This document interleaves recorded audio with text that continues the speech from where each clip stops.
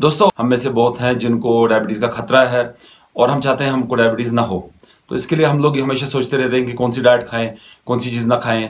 तो इसके लिए मैंने एक वीडियो बनाया है जो मैं 11 चीज़ें आपको आज बताऊँगा जो कि आपको डायबिटीज़ को प्रिवेंट करेंगी और अगर आपको डायबिटीज़ है तो उसको कंट्रोल करने में मदद करेगी। चलिए देखते हैं वीडियो ये जो फूड्स फ़ूड आइटम्स हैं, उनके बारे में बताता हूँ मैं आपको।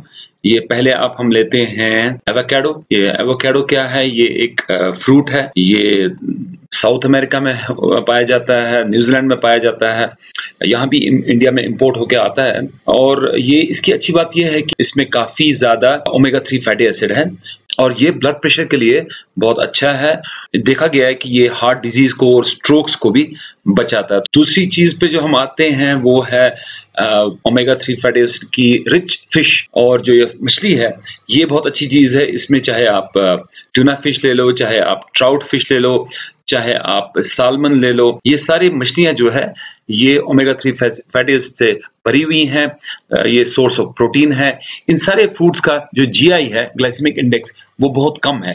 तो इसीलिए ये डायबिटीज़ के लिए अच्छी है। एक चीज़ ख्याल रखिए कि आप इसको तल के नहीं खाएँगे। अगर आप इसको तल के खाएँगे फ़िश को तो ये बहुत ज़्यादा फैट फैटी बन जाता है। अदरवाइज़ फ़िश जो है, चाहे आप स्टीम करके खाएँ, चाहे आप इसको मैरिनेट करके और कोयलों पर पका के खाएँ या आप इसको कुक करके खाएँ विदाउट फ्राइंग तो उस सूरत में फ़िश जो है बहुत अच्छी चीज़ है डायबिटीज़ पेशेंट्स के लिए। एक और चीज़ जो है अच्छी जो हम उसकी चटनी बना सकते हैं या उसको हम आ, ऐसे ही भाड़ियाँ काट के और उसको प्याज के साथ तल के खाने के ऊपर डाल के खा सकते हैं वो है गार्लिक और अगर एक गार्लिक का पीस एक फाड़ी एक रोज हम खाएँ तो ये भी अच्छा रहता है कोलेस्ट्रॉल के लिए भी अच्छा है डायबिटीज़ के लिए भी काफ़ी अच्छा है। इनका जीआई जो है ये बहुत ही लो होता है, ना होने के बराबर होता है। और उसके बाद हम आते हैं एप्पल सीडर विनेगर पर। देखा गया है कि ये इंसुलिन सेंसिटिविटी को इम्प्रूव करता है। आप ये एक ग्लास पी सकते हैं। एक ग्लास में आप दो या तीन चम्मच इस एप्पल सीडर विनेगर का डाल के सुबह के टाइम पी सकते हैं। या देखा गया है कि अगर आपने खाने से पहले लंच से पहले और डिनर से पहले एक ग्लास पिया तो जो शुगर कंटेंट है वो इतना ज़्यादा एब्जॉर्ब नहीं होता है और शुगर के लेवल्स जो है वो कंट्रोल में रहती है। तो ये भी एक अच्छी चीज़ है। इसके बाद आते हैं हम ग्रीन लीफी वेजिटेबल्स पर। जिसमें कि पालक है और सचल है और वस्ताक है, साग है, मुंडिया है। ये जो ग्रीन लीफ वेजिटेबल्स है काफ़ी इजीली अवेलेबल है कश्मीर में भी और इंडिया में भी। हाई फाइबर डाइट है और इसमें मैग्नीशियम और विटामिन ए काफ़ी मकदार है पालक में। तो काफ़ी आयरन भी है और ये हंद है जिसको डेंडेलॉन लीव्स बोलते हैं। इसमें भी काफ़ी आयरन है। ये शुगर उतारने में मदद करती है और देखा गया है कि अगर कुछ इंसान अगर कोई रोज पालक या ये ग्रीन लीफी वेजिटेबल्स खाए तो उसको शुगर होने का चांस 14 परसेंट चौदह परसेंट कम हो जाता है। और ये सारे जो ग्रीन लीफी वेजिटेबल्स हैं, इनका जीआई जो है ग्लाइसेमिक इंडेक्स वो बहुत कम है। एवरेज इनका जीआई होता है दो, चार छ आठ, ऐसे ही होता है। ज़्यादा से ज़्यादा इनका चौदह, पंद्रह तक होता है। तो उसके बाद हम आते हैं चिया सीड्स पर। या अगर उसका एक कज़न है, जिसको हम बोलते हैं बेसल सीड्स यानी जैसे हम लोग रमज़ान के टाइम बबरी ब्योल जिसको बोलते हैं, हम ये पानी में डालते हैं या दूध में डाल के पीते हैं या फालूदा में ये डाल के बना के पिया जाता है। ये अगर आप इसमें चीनी न डालें, जैसे अगर दूध थोड़ा सा डालें और उसके साथ पिए, वो अच्छी चीज़ है अगर आपको चाहते हैं मीठा हो तो आप एक शुगर फ्री का टैबलेट डाल के ले सकते हैं। और इसका, again omega three fatty acid इसमें काफ़ी है, कैल्शियम इसमें बहुत है एंटीऑक्सीडेंट्स इसमें है फाइबर बहुत है वाटर को रिटेन करती है। उसके अलावा नेक्स्ट में हम आते हैं चॉकलेट पर, और इस चॉकलेट में भी ख्याल रखिए कि वो मीठा ना हो ज़्यादा, और अगर डार्क चॉकलेट है, वो डेफिनेटली बेहतर है शुगर को कंट्रोल करने में स्टेबलाइज करने में, और अगर डायबिटीज़ है तो आप ये आराम से डार्क चॉकलेट खा सकते हैं।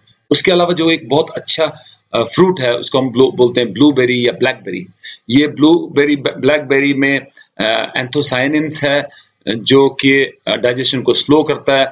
शुगर का कंटेंट कम करता है फाइबर का हाई कंटेंट है, इसमें जो स्पाइक्स होते हैं शुगर में, ऊपर नीचे चले जाता है शुगर उसको रोकता है। इसका ग्लाइसमिक लोड भी जो है बहुत ही कम है फाइव है इसका ग्लाइसमिक लोड और इसका ग्लाइसमिक इंडेक्स भी बहुत बहुत लो है। तो ये आप ले सकते हैं। उसके बाद हम आते हैं ड्राई फ्रूट्स पर। खासकर अगर आप बादाम खाएँ या आप वॉलनट है पिस्ता है या काजू है, ये सारे ड्राई फ्रूट्स बहुत अच्छे हैं। इसमें जैसे आप आमंड की बात करेंगे या बादाम की बात करेंगे, इसका तो ज़ीरो है।